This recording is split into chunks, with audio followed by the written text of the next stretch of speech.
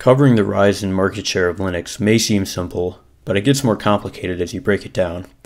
Since Android is based on the Linux kernel and global operating system market share has Android at 43%, the number one place, wouldn't that mean Linux already won and we can end the discussion here? Well, when people say Linux, they usually mean common distributions like Ubuntu, Fedora, Arch, and so on. So we'll stick first to the desktop market share rather than mobile. But before discussing number of Linux users, it's worth mentioning something that could skew these statistics. That is the privacy measures many Linux users take to ensure their personal data isn't collected. This very data that SEO and analytics companies use to provide these reports. Ad blockers such as uBlock Origin will block or filter out tracking scripts that websites use to gather data about users' operating systems and other details. Other than custom scripts, this data can be found in your user agent, something that is included in the header of every HTTP GET request, which, if you're curious, can be found by typing in window.navigator.useragent in the developer tools. And that is your personal identifier which much of this data is collected from.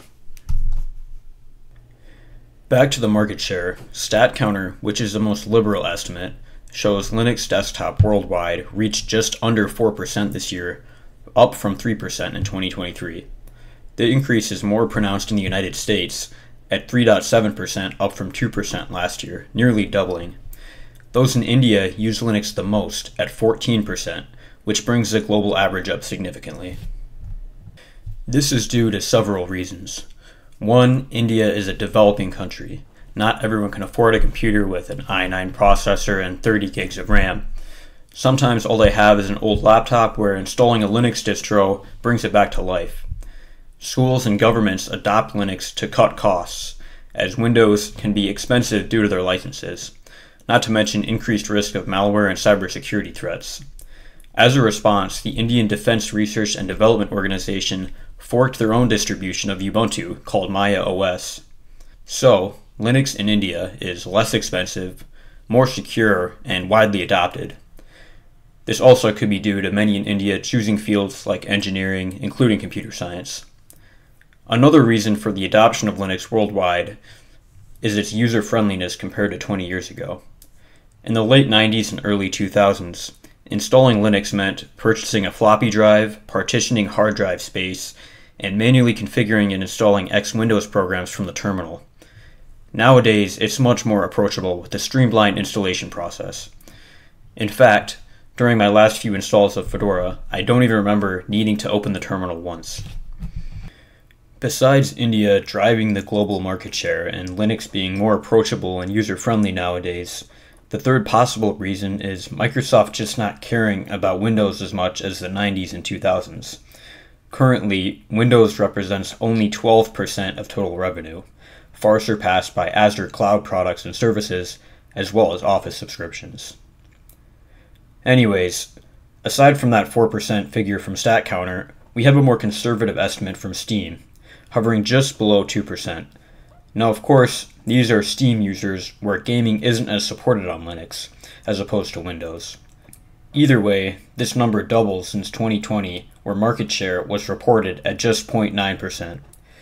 So whether you're looking at StatCounter or Steam's report, Linux desktop usage has been increasing considerably over the past few years.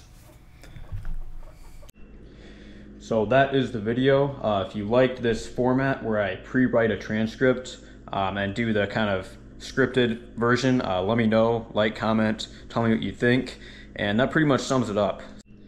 Linux is a topic that I'm interested in as a hobby as well as on the professional level. Um, I do know a lot about Linux. I'm, in fact, am Linux Plus certified, um, which is kind of the more lowly uh, CompTIA certification. But either way, I have a huge compilation of those notes, and that knowledge is still in my head.